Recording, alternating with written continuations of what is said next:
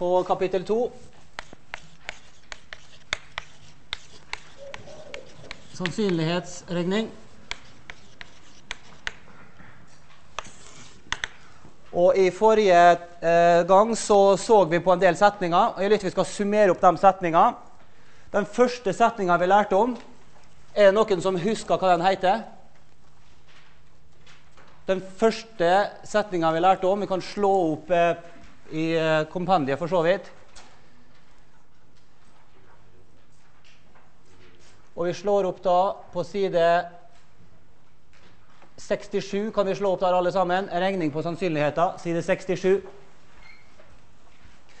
Hva var den første setninga vi lærte om? Hva heter den? Den spesielle addisjonssetninga, det er riktig. Og den sier at Hva er den sier? Den spesielle addisjonssetninga?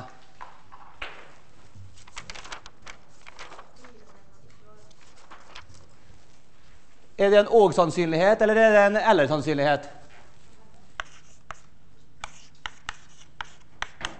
En eller-sannsynlighet. Og hva er den lik?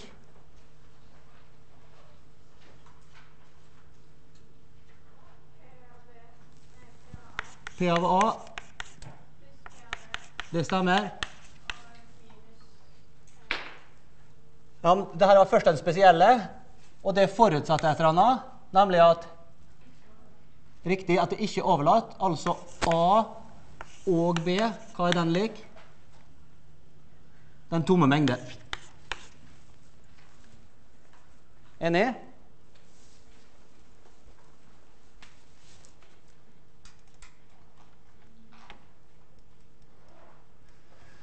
Med andre ord, den halvmatematiske versjonen av denne er å si at og-sannsynligheten er bare summen av de individuelle, forutsatt at begivenhetene er disjunkte.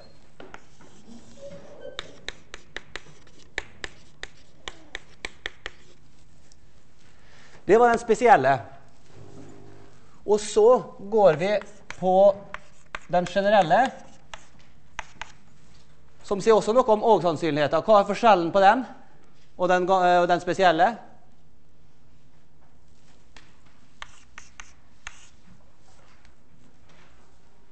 Er de akkurat like?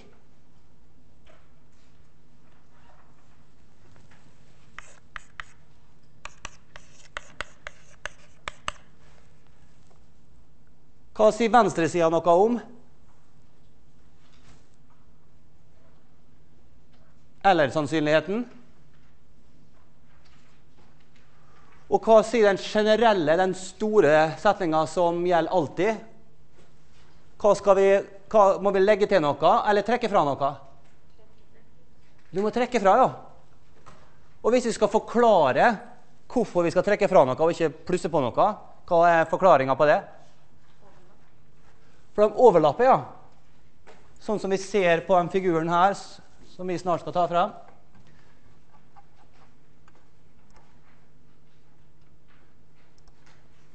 Når begivenhetene overlapper, så får vi ei dobbelttelling. Og den dobbelttellinga må vi ta hensyn til. Og da må vi trekke fra og én stykk og-sannsynlighet.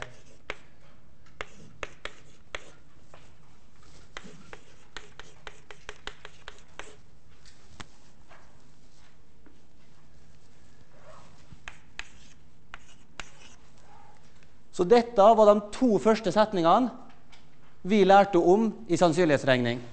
Den spesielle og den generelle. Den generelle den gjelder uansett.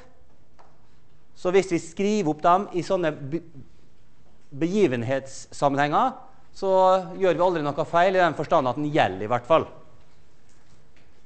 Den der, derimot, den har en forutsetning. Og forutsetninga er at begivenhetene ikke overlapper.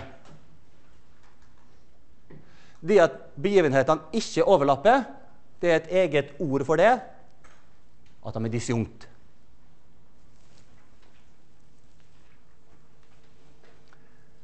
Var det alle setningene vi lærte om forrige gang, eller var det flere?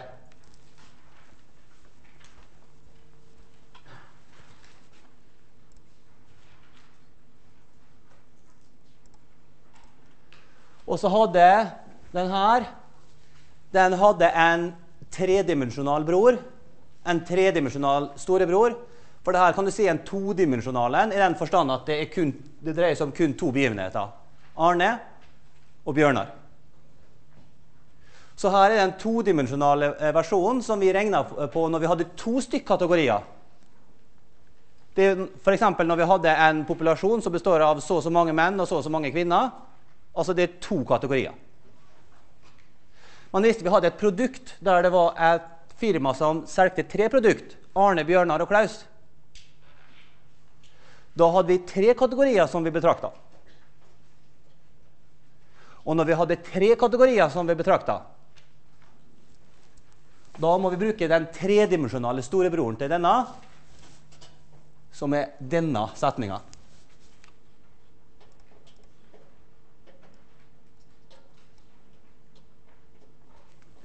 Og som vi ser, denne setninga her, den, der trekker vi fra mye rart. Og hva er den enkle forklaringa på det, eller den visuelle forklaringa på hvorfor vi må trekke fra en del ledd og faktisk legge til et au?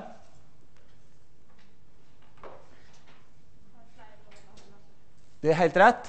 Det er flere overlapp. Vi har sågar Jeg tror det er tre stykk dobbeltoverlapp og én stykk trippeloverlapp. Det er helt rett. Og trippeloverlapp da, det foregår akkurat i midten her. Litt vanskelig å se. Men vi skjønner at der alle tre overlapper, så får vi en sånn overlappssituasjon.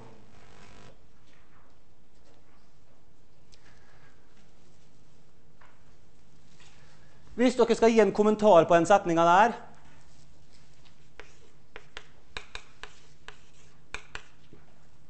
Hvilken kommentar vil dere da gi på den setninga der? Generelle addisjon. Det gir sammenhengen mellom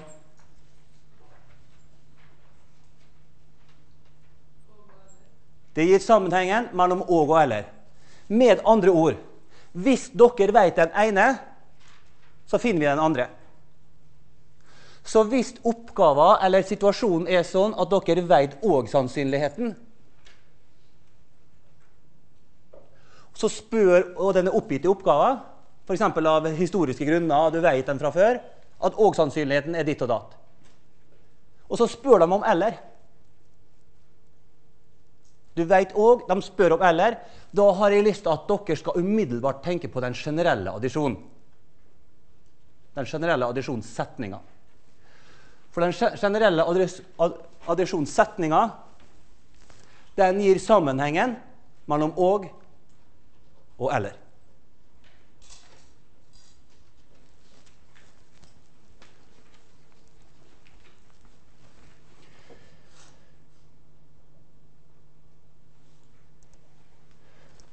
Hva var den eh, tredje og siste setninga vi lærte om eh, forrige time?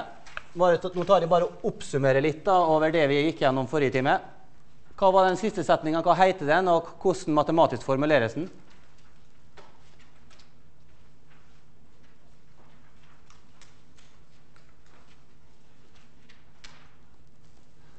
Når vi snakker om eh, i mange sammenhenger, eh, eh, sammenhenger, men også i sport, så sier vi at vi har en del spillere som utfyller hverandre.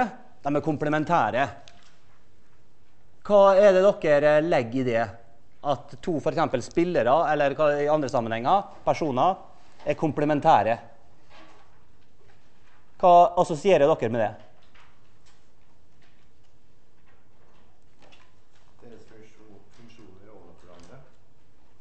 Ja, eller funksjoner overlapper hverandre. ja. Jeg ville sagt nesten, jeg ville sagt nesten det motsatte, at de ikke overlapper hverandre. For det at du har komplementære eh, størrelser, det betyr at hvis du er en midtstopper som er litt treig, så kan du, eller en person som er litt eh, treig å springe, så setter du ham som midtstopper eller kanskje keeper. Men hvis du har en lynkjapp spiller, så setter du ham som spiss eller noe sånt. Så da har de motsatte egenskaper. Altså de utfyller hverandre. Og det er det som er komplement, komplementsetninga, som sier det at hvis du har en hendelse A pluss ikke begivenheten A. A pluss A not. Så må det være lik. Hva må det være lik? 1, ja. Hvorfor må det være lik 1?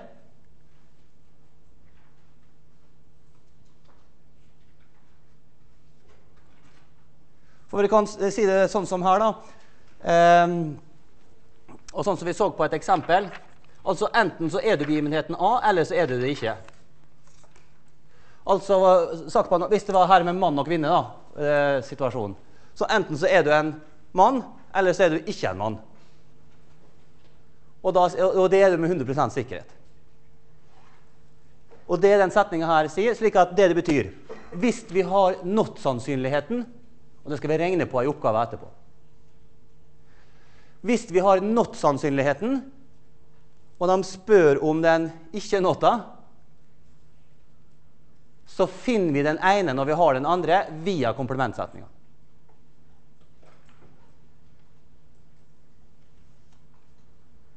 Så har vi n-sannsynlighet, P av A, så kan vi finne not-sannsynligheten bare sånn.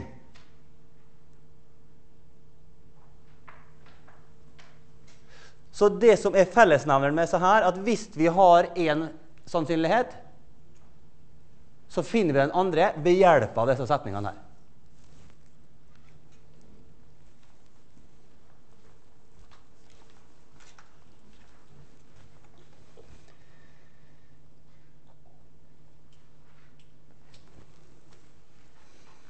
Ok, Da har vi repetert det fra forrige time og oppsummert det.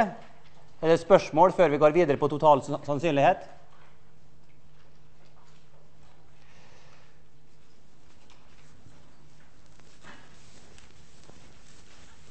Da slår jeg opp på side 76 total sannsynlighet. Og nå skal jeg vise dere eh, to, eh, total sannsynlighet pluss det vi kan kalle tvillingsetninger. Og da har vi faktisk det meste av maskineriet vi skal ha for sannsynlighetsregning. Og når vi har alle dem, altså disse tre her, pluss total sannsynlighet, pluss tvillingsetningene, og kanskje også noe som heter oppsplitting av utfallsrom, som vi skal komme tilbake til, da har vi et veldig stort maskineri for å kunne løse oppgaver innen sannsynlighetsregning. Da vil vi løse veldig mye. For som sagt, hvis vi får oppgitt en del ting, og eller eller eller not-sannsynligheter eller en del andre ting, så er det bare et spørsmål om å finne hva er det vi vet, og hva er det vi skal finne. Så hvis vi får oppgitt en og-sannsynlighet og det vi ofte kaller de individuelle sannsynlighetene, og så skal vi finne en eller-sannsynlighet. Da er det addisjonssetninga. Hvis vi får oppgitt en individuell eller en vanlig hva skal si, ubetinga sannsynlighet, sånn som det her er, og vi skal finne den tilhørende not-sannsynligheten, da bruker vi komplementsetninga.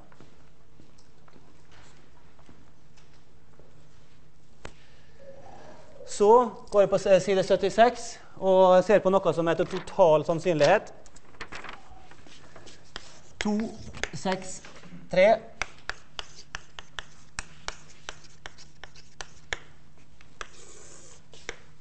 Total sannsynlighet.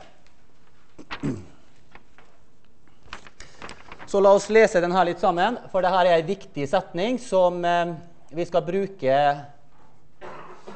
sannsynligvis i øving 2, som vi ikke har laga ennå. Addisjonssetninga og komplementsetninga er to viktige og fundamentale setninger. I dette avsnittet skal vi se på en tredje viktig setning. Setningen om total sannsynlighet. Og Da tror jeg vi vil starte med å tegne et mengdediagram.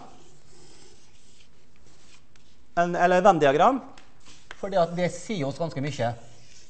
Og vi kaller, det her, kaller det her for eh, A, og det her for B.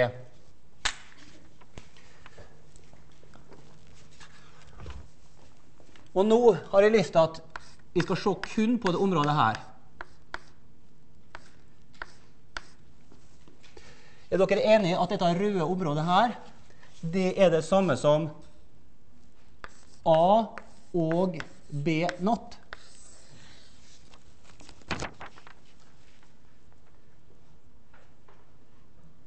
For det vi gjorde da vi tar, Hvis vi gjør det enkelt Hvis det har stått A og B her uten den noten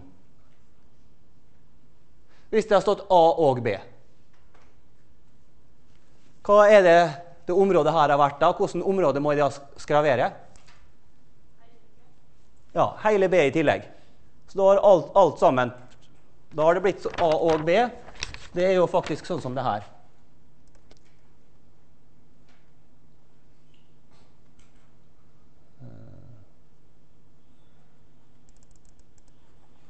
Der ser vi det. A og B. Nei, A eller B, mener jeg. Uh, så jeg har gjort noen feil ting nå.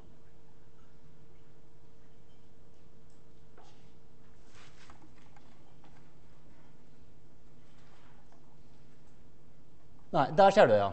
Selvfølgelig. Det der er A og B. Det var de som ikke tenkte klart et lite øyeblikk.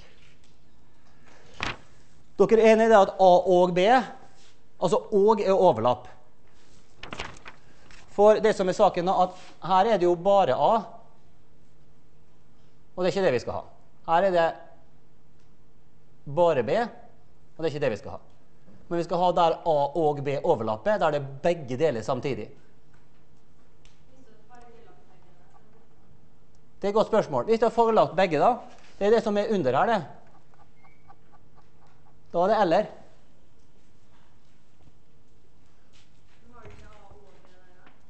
Nei, for her er det A eller B. Her er det A eller. Ja, men du har overlappen der. Det er helt rett. Det er helt riktig, så du har overlappen. Men det er fortsatt sånn at det er A eller B. Så det er et bra poeng at det overlapper også der. Men når det er eller, så er det hele greia. Da er det enten den ene eller den andre eller overlappen.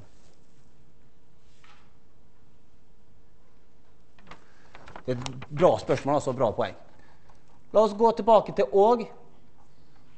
Og når det er og, så ser vi det her at da må det være begge deler samtidig.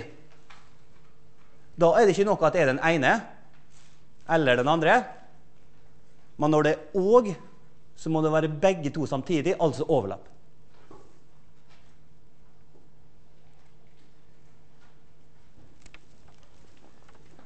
La oss se på den her. Hvis det hadde bare vært A alene, så har det bare blitt den saken der. Det hvis det har vært A alene. Men så skal vi òg B not. Altså vi har ikke lov å være i B. Og når vi ikke har lov å være i B, da må vi trekke fra hele B-en. Men siden B-en er litt oppå A-en, så må vi trekke fra den delen her som er i B. Og da står vi igjen bare med den litt store halvmånen.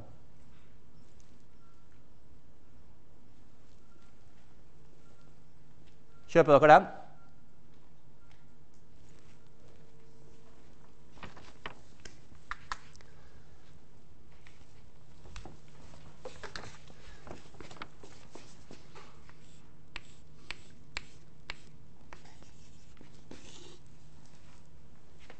Nå har vi vel sagt det for så vidt, og det står vel egentlig på projektoren òg. Overlappsområdet. Det røde her, nei, det, det blå her, det er da Er det òg eller eller? Det er òg. For det er overlapp. Da er det A og B.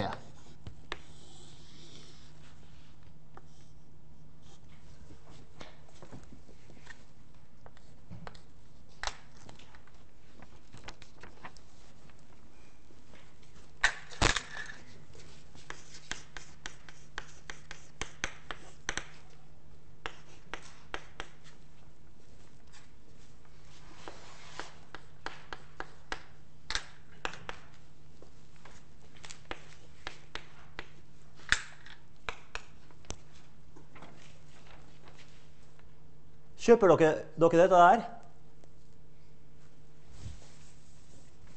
At A, hele A, det er det samme som den røde halvmånen, eller røde delen, pluss den der lille blå fnutten, eller hva jeg skal kalle det. Enig? Rød pluss blå. Men hva er den røde? Jo, den røde er jo A og B not pluss Og hva er den blå? Og det er jo en vanlig og-sannsynlighet, eller og-begivenhet.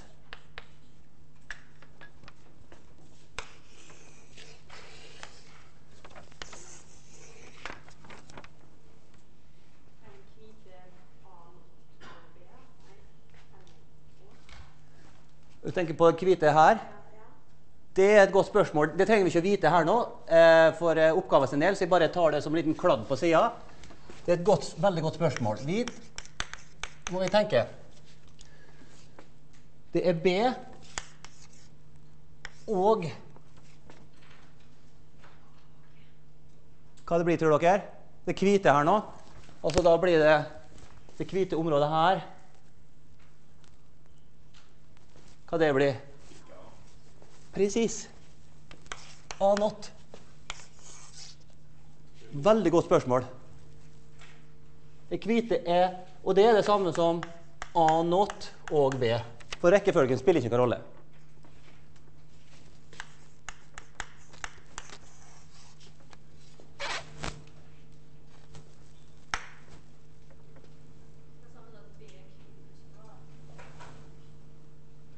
Ja, det er også riktig. Det som blir sagt her, er at bjørnar er det samme som hvit pluss blå. Og det er rett. Det er rett.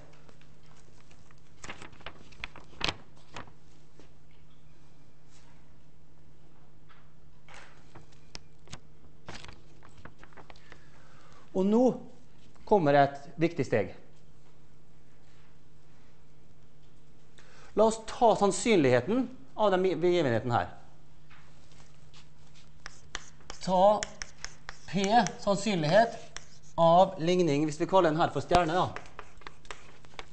så kaller vi den her for stjerne.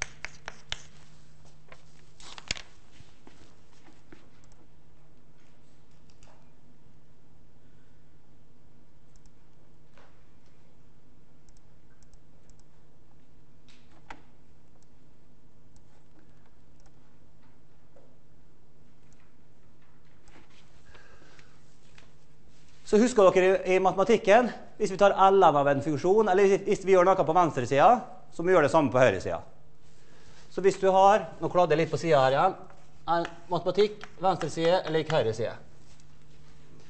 Så hvis vi tar ln på ene sida, så må vi også ta ln på andre sida, for dem av dere som hadde matte og logaritme. Men her kan vi gjøre det samme at hvis vi tar en venstreside og en høyreside, og så tar vi sannsynlighet P av venstresida, hva må vi da gjøre med høyresida? Det samme. Og da må vi gjøre P av høyresida også. Med andre ord, hvis vi gjør en operasjon på hele venstresida, da er vi nødt, og da har vi ikke noe valg, da er vi nødt å gjøre samme operasjon også på høyresida.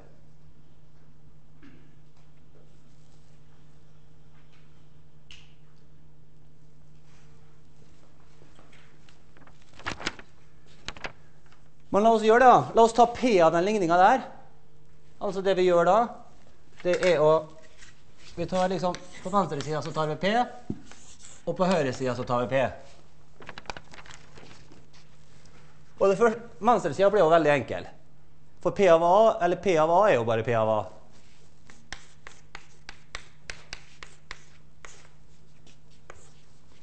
Og så setter jeg en kjempeparentes der for at vi skal ta P av hele høyresida.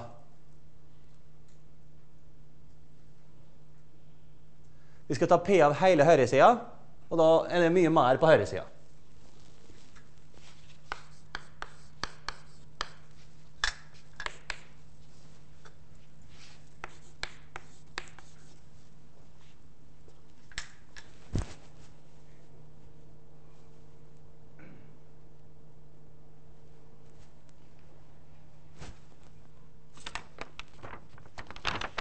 Ja, men her har jeg vært litt, vært litt rask, så la meg ta først en hakeparentes der.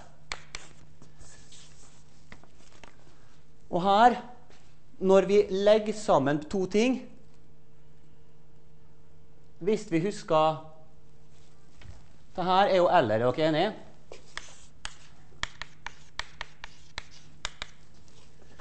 Så det å legge sammen to ting det er forbundet med eller. Er dere enige i det? Hvis du har to hendelser, og de skal legges sammen, altså plusses sammen, så er det en eller-operasjon. Så det å ta, når vi tar P av den der, og det her er pluss For det er ingenting som heter pluss inni en P. For inni P-a så er det bare U-a, eller smileyface eller sadface. Plusser og minuser de hører ikke utafor P. Så når vi snakker om mengder, så plusses ikke de sammen. Og, og mengder trekkes ikke sammen innafor P. Når vi er innafor P, så er det bare smileyface eller sadface som gjelder. Men utafor P så har vi lov å trekke fra og minus og deling og vanlige ting. Men når vi da skal plusse sammen Men det er lov å plusse sammen hendelser. er lov. Da er det vanlig pluss. Men i det øyeblikket vi tar P av dette her, da blir på en måte en plussen inni P-en. Og det er ikke lov å ha en pluss inni P. Da må vi enten ha smileyface eller sadface. Og en pluss det er assosiert med eller. Slik at her istedenfor den plussen så blir det da eller sånn som dette. Og så må vi sette parentes rundt sånn.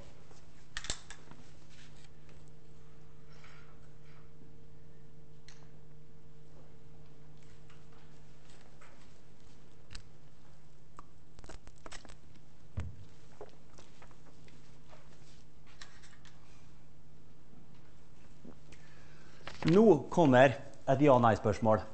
Og det ja-nei-spørsmålet er veldig viktig. Helt avgjørende i det steget her. Den røde og den blå området, overlapper de hverandre, eller overlapper de hverandre ikke? Hvem mener at de her rød og blå overlapper? Opp med ei hånd.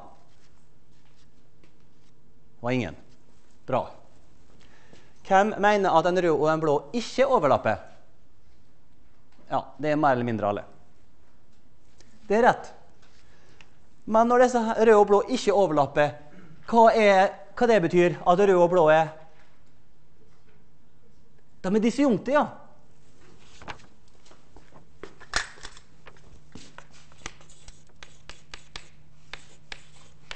Rød og blå er disjunkte. Hvilken læresetning er det som gjelder mellom to begivenheter som er disjunkte? Den spesielle, ja. Da gjelder Da gjelder den spesielle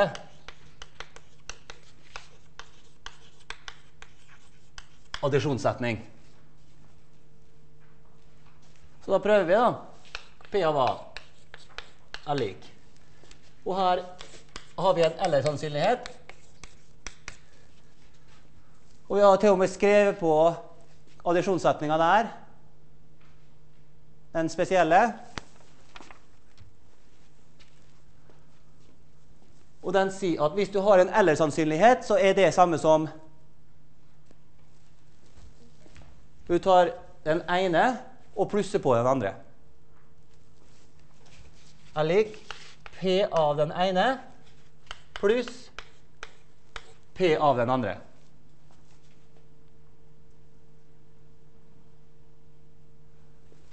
Ja, og hva, er, men hva skal stå inni her, da? I dette tilfellet? Hva skal stå inni her?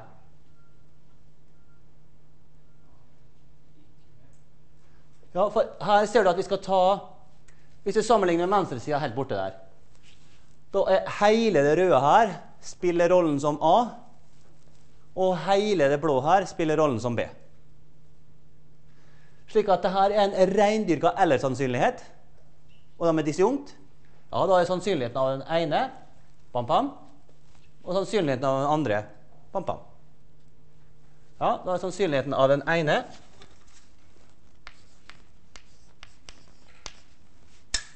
og sannsynligheten av den andre.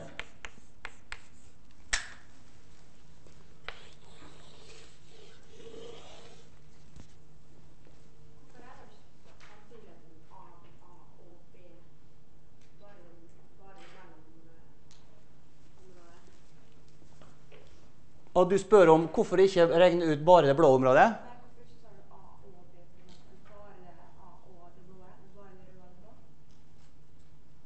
Jeg tar eh, bare det røde og det blå, ja. Ja, Det er et godt spørsmål. Det er et godt spørsmål. Altså, det å spørre om hvorfor tar jeg akkurat det området jeg tar. Veldig godt spørsmål. Det er faktisk hovedessensen som jeg har hoppa litt, litt, fort over. Det som er hovedsaken her, er at vi ønsker å gjøre oppsplitting. Vi har ei, en hendelse av A. Det er et veldig godt spørsmål, det du sa der. Takk for at du minte meg på det, for det var bra. Startpunktet her er at vi har én stykk hendelse som er A, sånn som dette.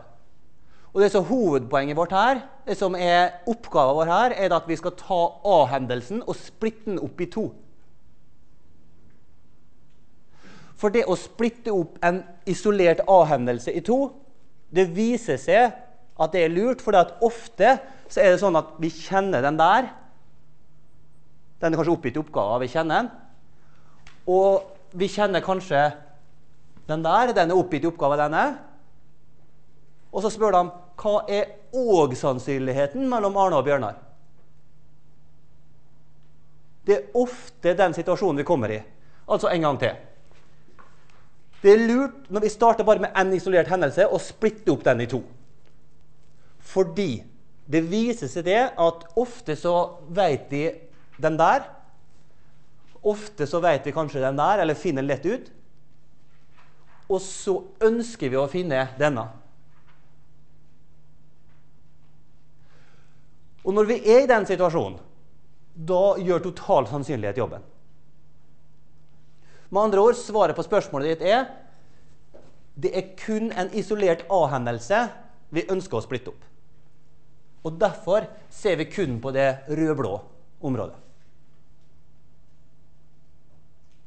Så hvis dere vil, oppsplitting av A, hvis dere vil, så kan vi skrive på noe fornuftig her. Helt øverst på side 76, om dere vil, så kan alle sammen skrive total sannsynlighet. Og da har jeg villet skrive det her i.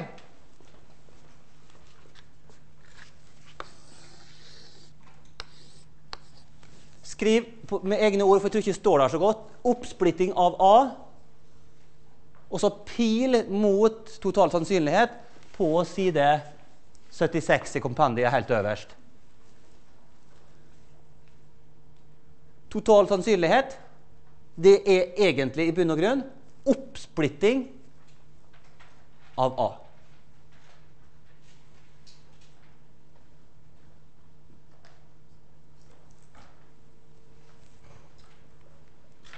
Og Vi kan se på bjørnene i denne sammenhengen som en hjelpebegivenhet.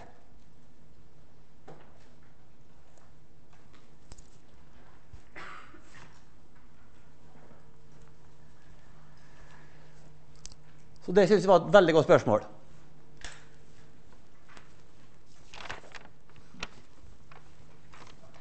Og Da summerer vi opp det her i en egen læresetning på side 77, helt øverst på side 77. Og det her er setninga om total sannsynlighet. For begivenhetene Arne og Bjørnar gjelder pam, pam, pam, pam.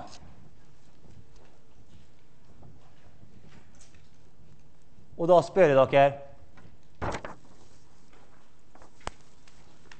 Under hvilken forutsetninger gjelder denne setninga?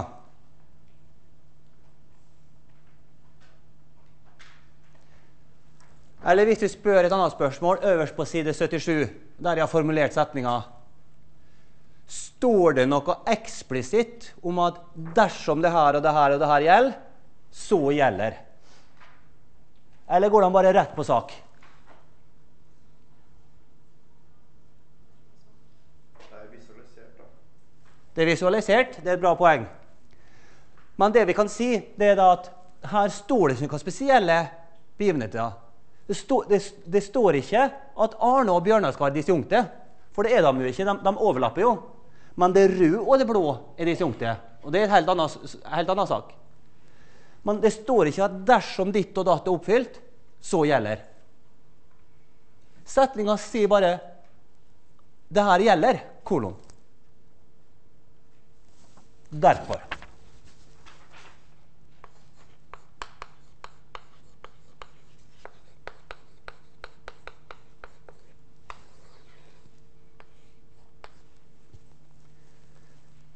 Alle sammen på side 77 skriver ei pil dit nå.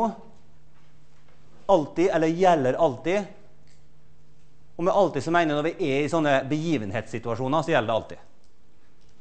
Men det mener jeg, altså det har ingen forutsetninger. Øverst på side 77, total sannsynlighet, gjelder alltid.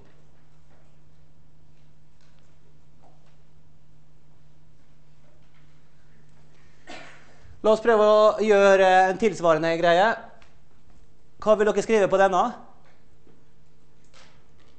Gjelder alltid, eller gjelder det under noen forutsetninger? La oss opp på komplementsetninga, og så skrive sånne snakkebobler der òg. Opp på side 75, alle sammen.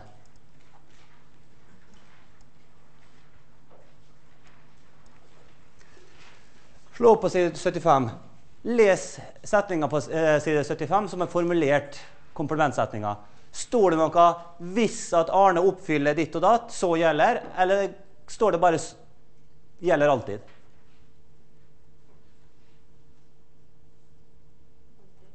Alltid, ja. Står ikke noen forutsetninger. Alltid.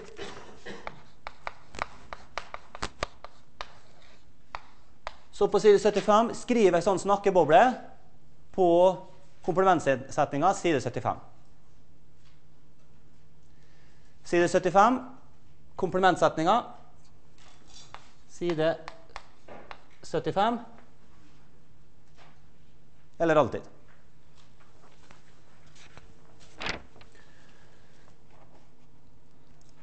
Nå er vi så godt i gang med greia her at vi kan gå hit her. Generelle addisjonssetninger for Arne, Bjørnar og Klaus. Hva skal stå her, da? Stå, står det noe i setninga når vi ramser opp dem? Står det noen forutsetninger her? La oss se på det først, for det er sånn vi skal tolke setningene. Står det noen forutsetninger her nå?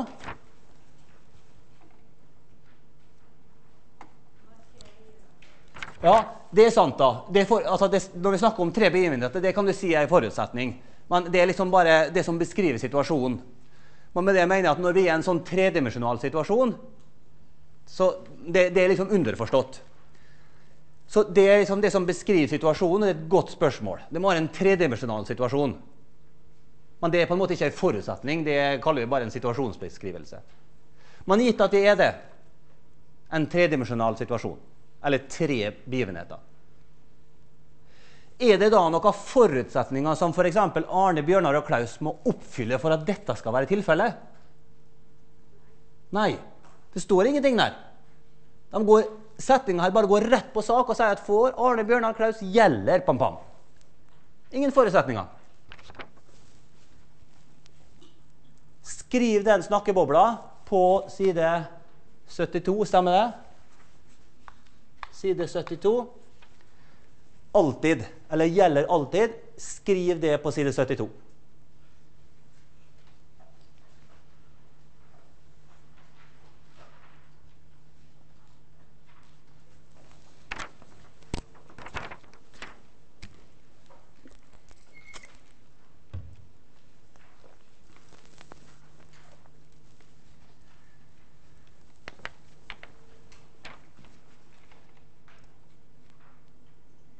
Ok, alle slår på side 69. Side 69. Det er den generelle addisjonssetninga, og det var den vi skrev opp her.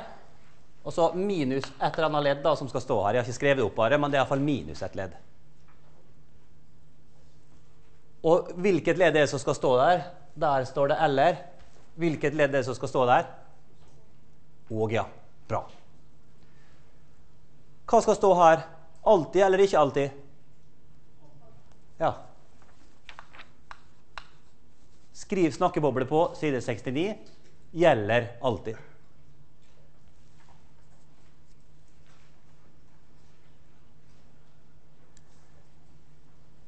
Og Det er jo derfor den kalles den generelle for den gjelder generelt.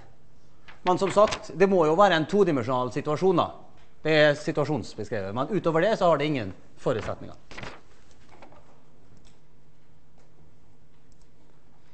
Ok, alle slår opp på side 67.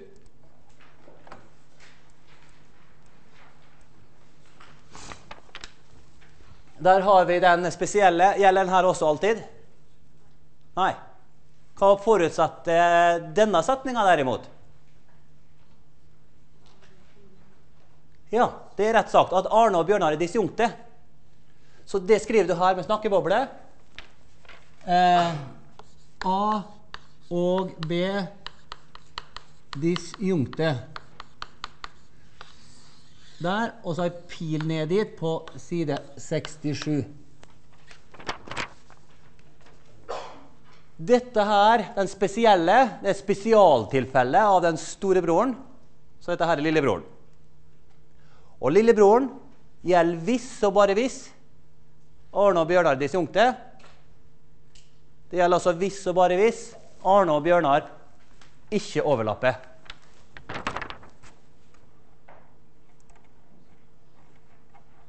Ja, hvordan blir det?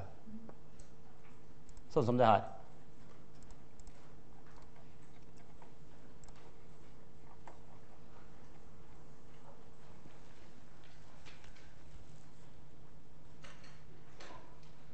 Bra.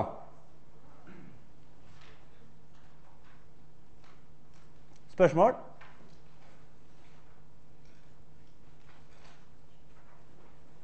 Virker det her artig med sannsynlighetsregning? Mengder? Dere har vært borti det før? Hvem har hørt om total sannsynlighet før? Å oh, ja. Ok. Da, men jeg later som dere ikke har hørt om det. Vi tar oss en pause.